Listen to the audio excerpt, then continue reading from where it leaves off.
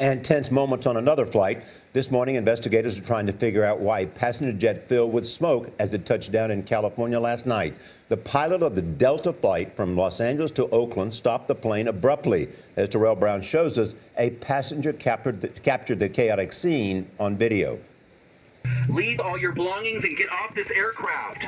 Just minutes after landing at Oakland International Airport, smoke began filling the cabin. We cannot breathe back here. Go. Frantic crew members instructed the 75 passengers on board to quickly exit the plane and leave their belongings behind. Let's you back on when we clear out the plane. Linton Johnson, one of the passengers, said the air became hazy once the flight touched down. By the time we got to the gate, the cabin started filling up. It smelled like burnt rubber. The captain deployed the stairs short of the jetway so passengers could make an emergency exit. The pilots just immediately put the plane to a stop. It just really came to a jolting stop. And they, the, the flight attendants were telling everybody, get off, get off the plane, get off the plane. Leave your stuff behind, get off the plane.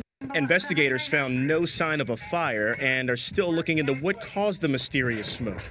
There were no reports of any injuries. For CBS This Morning, Terrell Brown, New York.